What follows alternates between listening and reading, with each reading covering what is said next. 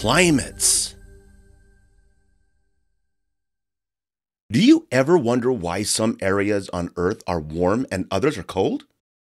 Why doesn't it get very cold in Southern California? But one state away in Nevada, it gets cold enough to snow. Why does it get so hot in the summer in Arizona, but not very cold in winter?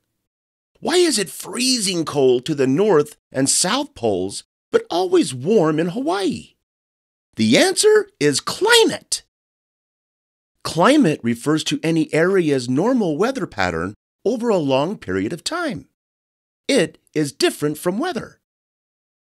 The weather in certain area changes from day to day or even from one hour to the next. But climate changes very little, and if it does, it may take thousands of years for that change to take place. There are three main climates in our world Arctic, tropical, and temperate.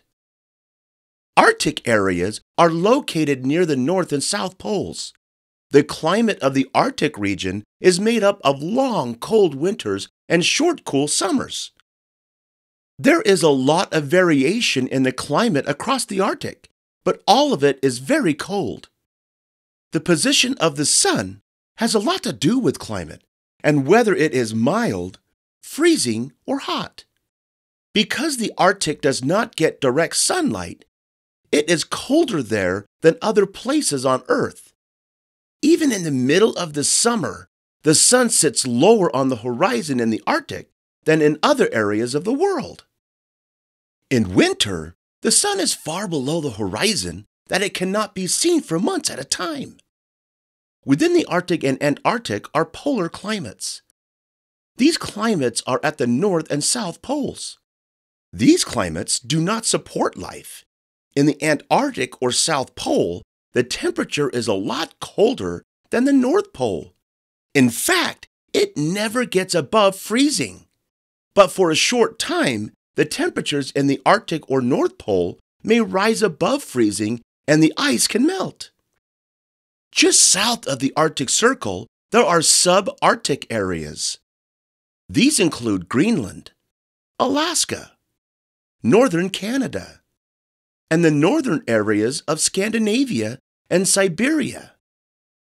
In winter, the temperature is below zero and the rivers and lakes are frozen. But in summer, when temperatures rise above freezing, the ice melts and plants that grow on the tundra can support some animal life. If you don't like being cold or living where there isn't sunlight for long periods of time, then the Arctic is not the place for you. Instead, you may prefer a tropical climate. A tropical climate is a climate in a tropical region. Tropical climates are just north and south of the equator. Tropical climates are non arid climates. Non arid means they get a lot of rain, especially in the summertime.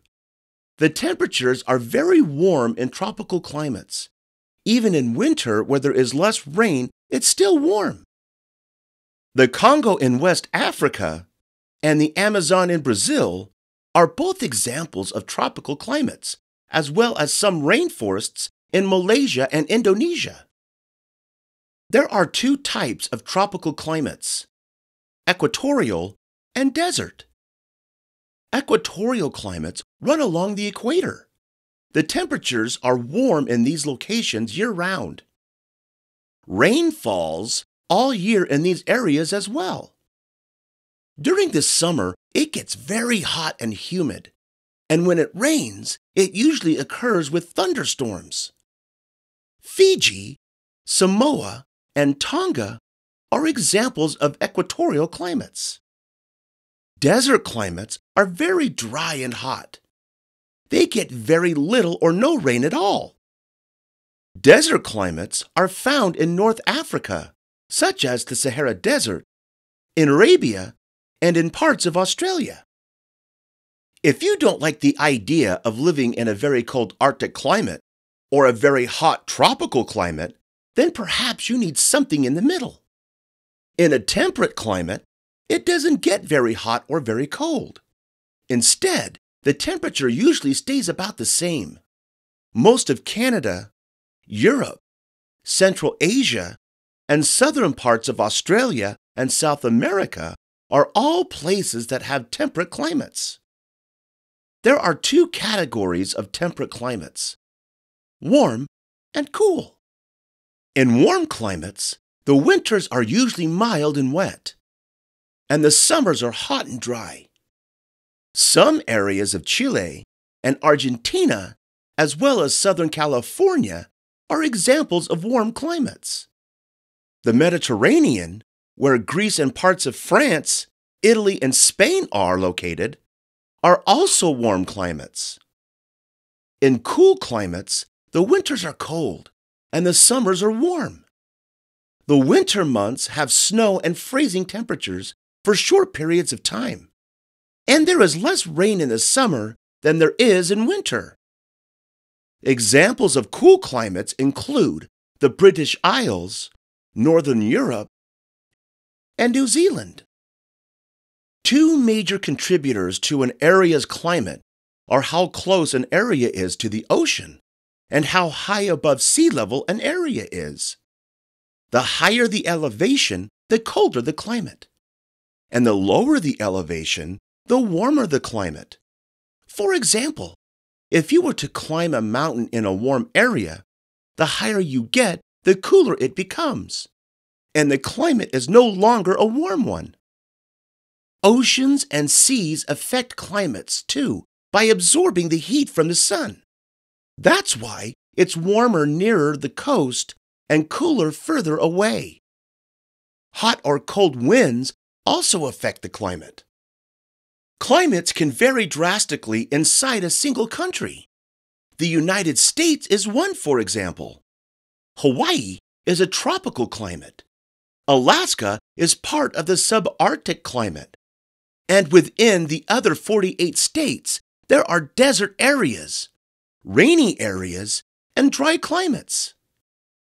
The warmest areas in the United States are in the southwest, and the cooler areas are in the north. Seasons also affect the climate of an area. Some areas experience a wide range of weather patterns throughout the year, while others stay about the same temperature. Climates can change over a long period of time. Thousands of years ago, the entire climate of the Earth was much cooler than it is now. This period of time was called the Ice Age. The ice caps or glaciers covering the North Pole covered nearly the entire northern hemisphere of the Earth. Several reasons that climates change over long periods of time include volcanic eruptions, the Earth's orbit around the Sun, and how much energy the sun sends to the Earth. Other forces can also affect climate change.